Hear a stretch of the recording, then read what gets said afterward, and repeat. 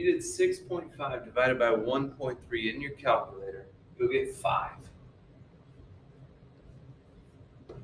Now remember with the tens, because they are the same base, uh, we just subtract the exponents. So 15 minus 8 would be 7. Does that work for scientific notation? Yeah. Cool. Moving on over here. If you did 2.7 divided by 9, you get 0.3. So we divided those, got 0.3. We know that's going to be a problem. We'll adjust it. And then we have to subtract negative 8 minus negative 4. Now remember, minus negative really means plus.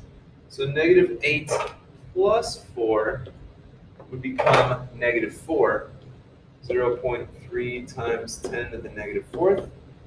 We have to make 0.3 larger to make it 3 for proper scientific notation. We made that larger, so we need to make the exponent smaller.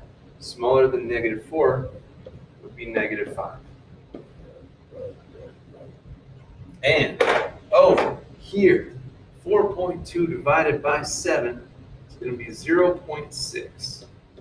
We need to subtract the exponents. 8 minus 5 is 3. Doesn't work for scientific notation because 0.6 is less than 1. So we need to make it larger. We need to make the exponent smaller.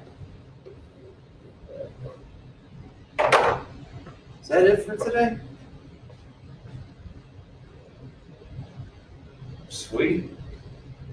I'll see you tomorrow.